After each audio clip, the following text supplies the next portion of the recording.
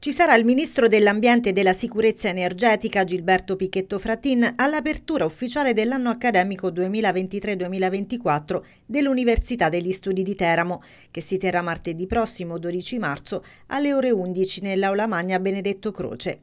La cerimonia inizierà con la relazione del rettore Dino Mastrocola.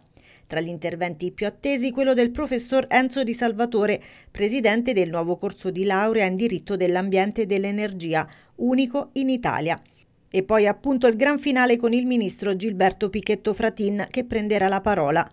L'apertura ufficiale dell'anno accademico è la decima nella storia dell'Università di Teramo che ha appena celebrato il trentennale della sua istituzione, avvenuta il 1 novembre 1993, quando ci fu il distacco dall'Università d'Annunzio di Chieti.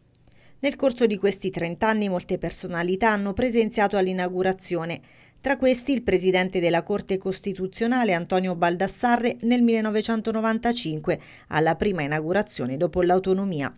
Ma anche il vicepresidente del Consiglio Superiore della Magistratura Piero Alberto Capotosti, il ministro dell'Università e della Ricerca Scientifica Ortenzio Zecchino nel 2000.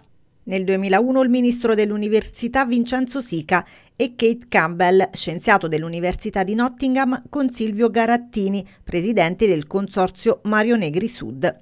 Nel 2002 il presidente del Consiglio di Stato Alberto De Roberto, Ospite nel 2004 l'abruzzese Giovanni Legnini, allora vicepresidente del Consiglio Superiore della Magistratura. Nel 2020, infine, l'inaugurazione dell'anno accademico fu celebrata alla presenza del Presidente della Repubblica Sergio Mattarella.